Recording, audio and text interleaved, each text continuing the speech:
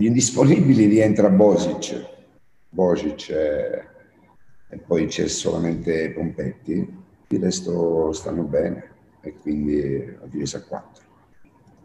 È una domanda troppo dettagliata. Noi abbiamo fatto in un modo in queste sei partite e anche in un altro modo, o prima, o dopo, o dall'inizio, o successivamente. Abbiamo, abbiamo cambiato, quindi non capisco quale possa essere la novità, non la vedo la novità, se novità si può dire. Queste sei partite abbiamo alternato diverse cose secondo le esigenze della partita, secondo chi stava meglio e quindi non c'è nessuna novità.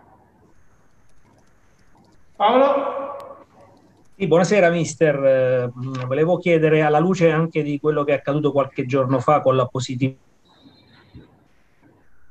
di un giocatore. Insomma, che settimana è stata? Questa è stata un po' più complicata eh, perché ovviamente ci sono stati e ci sono ancora dei eh, problemi. Ma guardi, siamo tornati martedì notte, quindi mercoledì mattinata. Chiaramente il mercoledì chi, chi aveva giocato, anche perché era la seconda partita, non ha, non ha lavorato, non si è allenato, ha riposato, si è allenato soltanto chi aveva preso parte poco alla gara o, o, o, o per niente. E poi l'indomani abbiamo fatto un lavoro di recupero perché ancora essendo con quelli che avevano giocato il giovedì, dico, e abbiamo avuto questa notizia che qualche problema ce l'ha creato perché poi questi protocolli qui, nonostante siamo tutti vaccinati con la seconda dose di vaccino, non puoi fare la doccia, gli allenamenti in gruppo, qualche problema c'è stato e c'è tuttora qualche problema perché poi probabilmente non potremo andare neanche in ritiro. Le, le, regole le hanno fatte, sembrano sciocche perché sembrano sciocche, però stabiliscono questo. Abbiamo fatto due tamponi negativi, siamo tutti vaccinati, c'è stato un episodio, ma fortunatamente è, è tutto chiuso. Qualche problema ce l'hanno creato perché facciamo fatica anche a vedere dei video insieme, però non sono cose determinanti, sono, sono fastidi che però non, non, non, peseranno nell'economia della gara e non peseranno nella partita di domani, però è chiaro che sono dei fastidi. La continuità è l'arma vincente per vincere questo campionato per lei? Nonostante magari prestazioni non eh, esaltanti, come ha detto lei, anche in altre partite? Sono d'accordo, la partita di Gubbio abbiamo fatto errori che non appartengono al valore di questo gruppo. In queste partite sotto alcuni aspetti abbiamo commesso degli errori, no? errori di tipo individuale che, che, per il livello di questo gruppo, ma che possono avvenire in, una partita di calcio, i giocatori di calcio, nessuno, nessuno infallibile, si sbagliano anche i calci di rigore in una finale mondiale, giocatori di grande livello, quindi qualche errore l'abbiamo commesso, ma Detto questo, non è che noi abbiamo rubato i punti a nessuno, anzi, chiaro che ci siamo a volte complicati la vita, ma questa è una squadra che ha, che ha, che ha valore, che ha contenuti, che ha un, un, modello organizzativo importante, che cerca di imporre gioco e che sta facendo bene, per cui adesso noi non abbiamo vinto la partita di Gubbio, che è una squadra tosta, difficile da affrontare, l'abbiamo recuperata. E praticamente abbiamo fatto due o tre errori madornali in cui abbiamo concesso dei vantaggi a loro.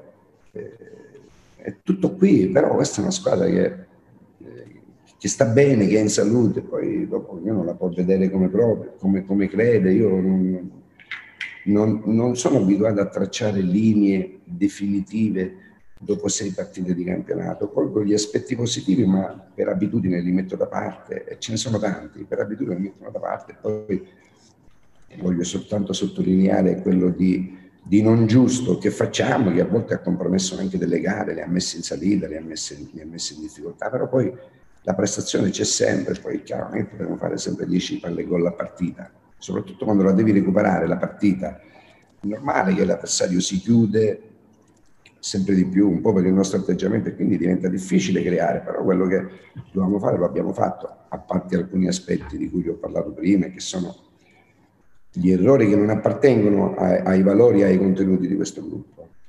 Clemenza ha fatto bene, è rientrato dopo un problema in allenamento, una distorsione alla caviglia, conseguenza di una di un contrasto duro con, con, un ragazzo della primavera una quindicina di giorni fa. Galano ha avuto la sua opportunità e ce ne saranno tante altre.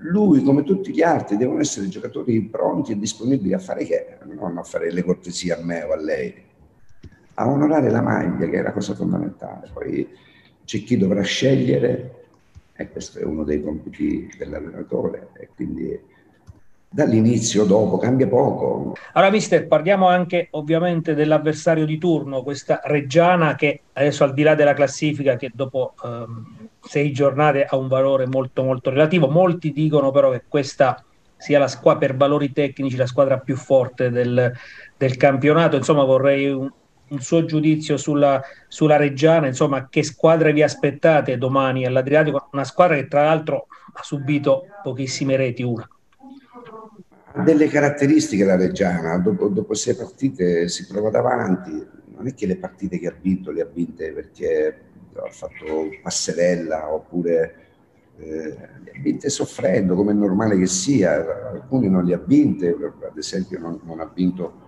però questi, questi raffronti valgono veramente poco, non ha vinto con l'avversario che abbiamo affrontato noi tre giorni fa, con Gubbia in casa, ogni partita ha una propria storia. La Reggiana è una squadra importante, una squadra che, che, che ha investito, che sta facendo bene, che ha de- determinate caratteristiche che noi sappiamo, però è una delle squadre di caratura più importanti, ma noi vogliamo confrontarci. Cioè, guardate che è sempre il campo quello che determina alla fine i valori, no? Quindi in teoria uno può dire tante cose. Certo che la Reggiana ha dei giocatori esperti, importanti, di, di caratura tecnica elevata, un modello di gioco organizzato e importante, ma non credo che siamo solo noi e, e la Reggiana, sono tante altre squadre in questo girone, è un torneo lungo, lunghissimo, la continuità sarà fondamentale e poi la voglia di affrontare e di sfidare gli avversari. E ogni partita ha una propria dimensione perché chiaramente la partita, faccio l'esempio che abbiamo fatto con la Vispesero in casa, tatticamente si sviluppa in un modo, quella di domani si potrà sviluppare in un altro modo, altre in un modo diverso. Bisogna avere, bisogna avere tante facce. La classifica neanche io la guardo adesso come non la guardavo prima, non è il tempo di guardare la classifica, piuttosto è il tempo di guardare le prestazioni e domani è una partita importante da questo punto di vista, il raffronto con un avversario di livello elevato come noi vedremo quello che avverrà.